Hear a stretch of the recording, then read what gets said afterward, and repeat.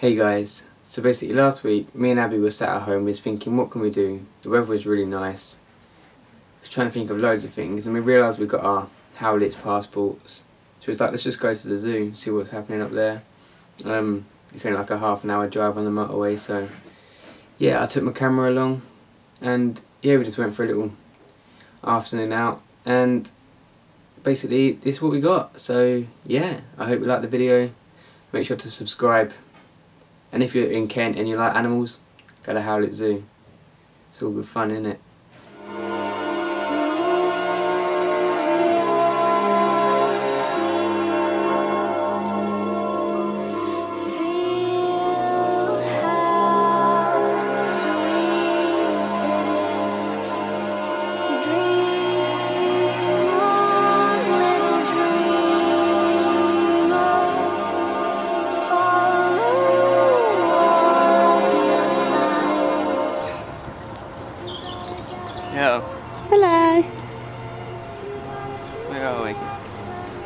Zoo. At the zoo.